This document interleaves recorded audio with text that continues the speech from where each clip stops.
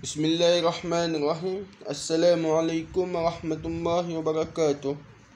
Hadis yang ke-8 berkenaan tentang disuruh kita beramal ibadah dengan ikhlas. Abradul ibadi ila Allah man kana sawbahu khairan min amali an takuna siyabuhu siyabal anbiya'i wa amaluhu amalal jabbarina rawahu ad-dailami an aisyah Terjemahan sebenci-benci makhluk kepada Allah ialah mereka yang mana adalah pakaiannya terlebih cantik yakni terlebih baik daripada amal ibadahnya.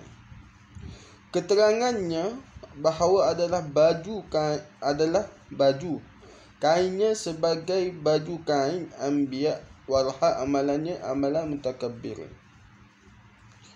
Rawahu ad-dailami an aisyah maksudnya disuruh kita beramal ibadah dengan ikhlas. Tetapi tiada pula menegah keelokan pakaian itu daripada diterima amal ibadah asalkan ikhlas. Betul Assalamualaikum warahmatullahi wabarakatuh.